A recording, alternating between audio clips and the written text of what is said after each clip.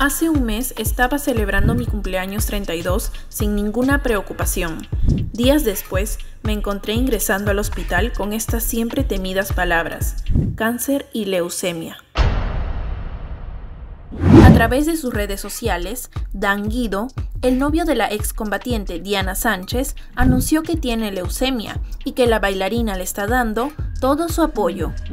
Esta sería la razón por la que Diana Sánchez habría decidido renunciar a Reinas del Show hace algunas semanas.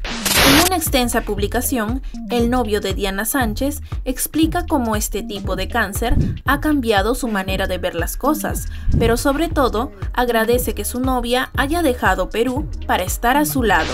Todo se veía como borroso, pero recuerdo mi primera sonrisa cuando Diana llegó a mi lado desde Perú.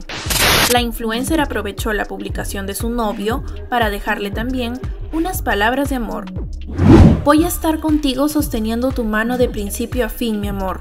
Te amo, mi héroe. ¿Estás bien? Eh, eh, es, es, es una cuestión personal que voy a tener que dar un paso al costado en la competencia.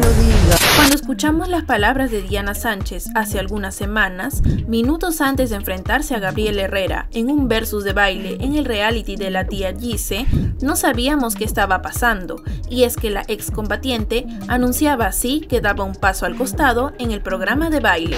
La decisión que, estamos, que estoy tomando es básicamente personal. Eh, amo estar en la pista, pero hay otras razones que me, me están llevando a tomar la decisión de tener que dejar la competencia.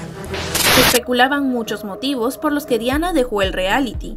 Incluso sus mismas compañeras comentaron sobre el tema, diciendo solamente que era un asunto complicado.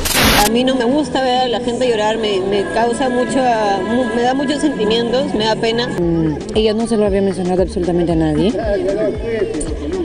Y, y bueno, y es un tema que hay que dar el espacio que ella necesita. Diana Sánchez y su novio norteamericano Dan Guido se conocieron en el año 2018. Ella terminaba una tormentosa relación con el colombiano Harold Cortés, en medio de denuncias por agresión. ¿Qué es lo que ha pasado? ¿Puedes contarnos, por favor? No tomen fotos. ¿Qué es lo que ha pasado? No ha pasado nada, no ha pasado nada. Hay una denuncia de agresión. No, no ha pasado nada. Hubo una agresión mutua, Diana. ¿Puedes contarnos, por favor? Tras sufrir una fuerte depresión, la modelo volvió a encontrar el amor en septiembre del mismo año, cuando conoció al estadounidense en Lima en una reunión a la que no pensaba ir, pero que una amiga la convenció. El año pasado, en una entrevista exclusiva para Trome, Diana Sánchez contó detalles de su relación. ¿Consideras que es el amor de tu vida?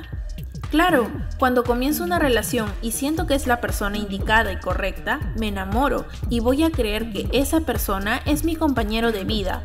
Nosotros caminamos de la mano para lograr nuestras metas y propósitos.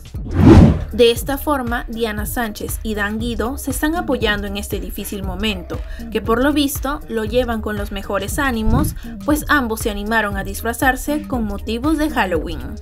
Si te gustó nuestro video, no te olvides de darle like, dejarnos tu comentario y suscribirte a nuestro canal de YouTube.